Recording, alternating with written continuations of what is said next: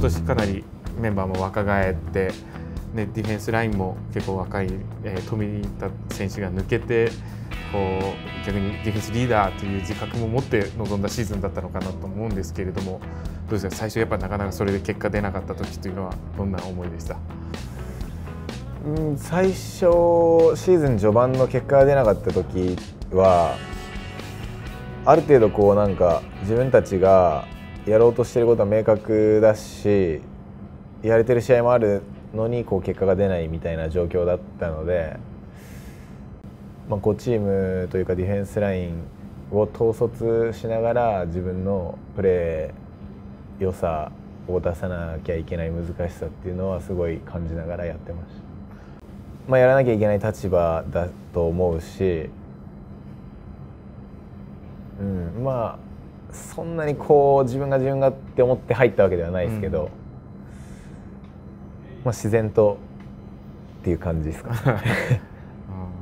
まあでもねただなかなか結果出ずその中でやっぱりあの柱谷哲司監督が解任となってしまって、はい、やっぱりあれはかなりショッキングな出来事だったなと思うんですけれどもどうでした？自分たちがこう結果が出ないのをやっぱりこう監督が責任取るっていうのはすごい悔しい気持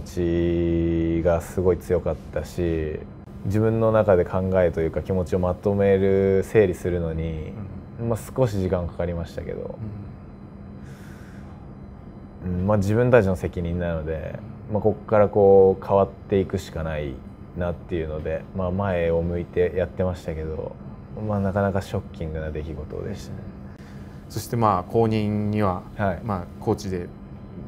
コーチをやってたあの西ヶ谷監督が就任しましたが、まあ、西ヶ谷さんとはまあ大学時代からのね、はい、関係で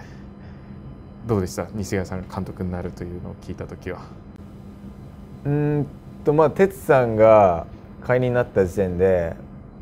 やってくれないかなっていうのは思ってたし西ヶ谷さんだったらやれるこうついていきたいしこうチームもいい方向に向かうんじゃないかなっていうのはすごい思いました。大学時代も西谷監督のもとでプレーしてたと思うんですけれども、はい、どうですか、まあ、大学時代の西谷監督とプロでの西谷監督ってやっぱ違います？そうですね。まあそんなに大きく変わらないですけど、うん、まあ、それはこう2人でも話少しこう話したんですけど、僕の印象としてはそのやっぱり、まあ、状況だったり選手のこう、まあ、怪我人とかもいる中ですごいシンプルですよねっていう話をして本当にたくさんサッカー知ってる人だし、まあ、大学時代は結構やいろんなことをトライしながらやってた印象だったのでそうですね。そういうところはまあ、シンプルですよねっていう。まあまだ出してないだけですかねっていうことは ちょっと話したんですけど、まあ、たくさんこう引き出し持ってるし知ってる人だので、まあ、意外とこうまだ出さないのかなっていうのは思いましたサッカーオタクですよね。あの人。間違いないですね。相当見てるでしょ。相当試合見てると思いますね。日本の試合もそうだしヨーロッパの試合もそうだし、うん、まあ、ディフェンダーなん特にやっぱり一つのミスが許されないポジションだけにプレッシャーがかかるのかなとは思うんですが残留争いしてる岐阜に負けて、はい、で岡山でああいう0対3で負けてちょっとやっぱチームとしてかなり苦しくなってきたっていうところで。ちょっと新里君のメンタルのところも気になってたんですけど次からやっぱりこう立て直して本当にそこで修正できたことが大きかったなっていう気がしたんですけれども。そうですね。ま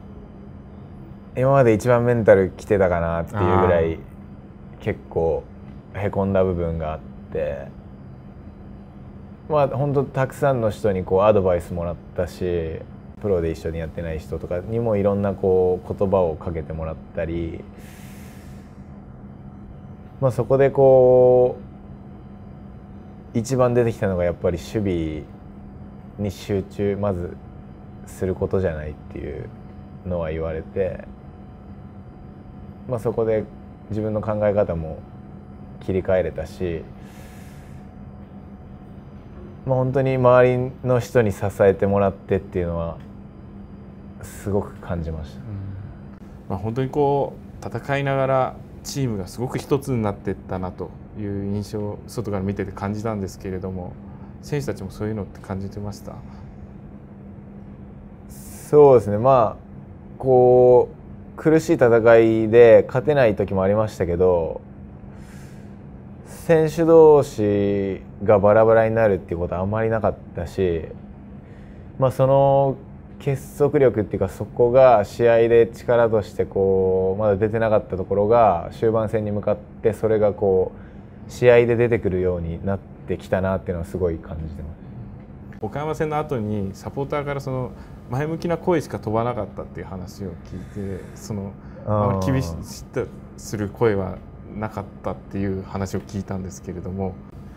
僕はちょっとあの記者席からだったんで分からなかったんですけど、はい、その話聞いた時にこのチームは大丈夫だなとすごく思いました。そうですね、まあ、サポーターの人が僕たちを奮い立たせてくれたみたいなところもすごいあったので本当に感謝してます、うん。まあ、本当苦しい戦いだったけれどもやっぱりそうやってピッチの内外で何か大きなものを掴んだシーズンだったなって今すごく思えるんですけれども。本当はダメなんですけどこの成績じゃ、うん、まあ、実際こう残留争いしてないチームにはこの状況っていうのは分からないと思うので、まあ、悪い、まあ、いい意味で僕たちしか経験してなかったというかところから学んでそのしてないチームを超えていくような力をつけていかなきゃいけないので、まあ、本当にこの経験がいい方向に向かうようにしたいですね。なんとかこの経験を、ね、はい、生かしてこの来季は飛躍してもらいたいなと思います。はい、はい、最後にあのサポーターにメッセージをお願いしたいと思います。こういう戦いの中でもグランド、まあ、ケーズだったりアウェーだったり本当に足運んでもらって力をいただいたので、まあ、来年以降はこの違うプレッシャーというか上で戦うプレッシャーの中でああいう厳しい試合をしてサポーターの方と一緒に喜びを分かち合いたいなと思うのでまた変わらず声援をいただけたら嬉しいなと思います。どうもありがとうございました、はい、お疲れ様でした